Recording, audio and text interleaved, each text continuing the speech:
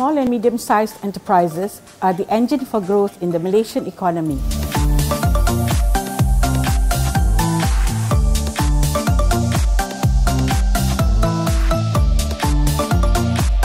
since they account for more than 95% of total business establishments in Malaysia. Entrepreneurship is one of the strong pillars of students' learning experiences at MSU, and it has prompted a group of six lecturers from the Department of Accounting and Finance to conduct a study on the efficiency of accounting system used by SMEs in Malaysia. The focus was on the accounting process involved in recording their business transactions. Uh, the findings indicate that many SMEs were still using the manual system of accounting, which is not efficient, and this resulted in business owners having less time to concentrate on more important matters. The manual system requires a long time to keep track of accounts on a daily basis. This limits their ability to focus on crucial matters such as managing and strategizing for their business. A recommendation was put forward by the MSU research team for SMEs to use the UBS computerized accounting system in recording business transactions.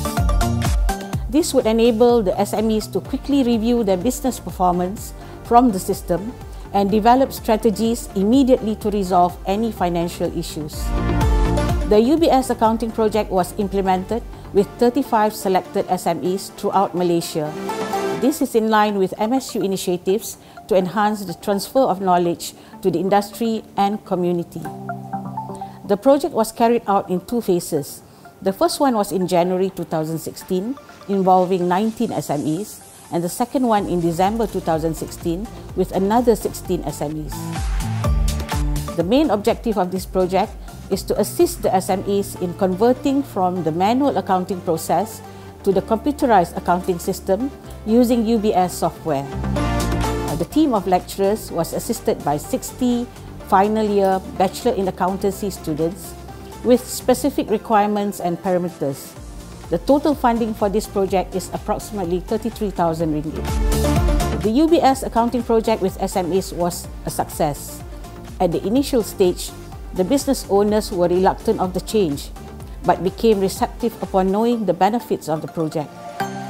The SMEs provided positive feedback through project appraisals and testimonials, and they highly recommend that MSU continues with such initiatives with other businesses in Malaysia.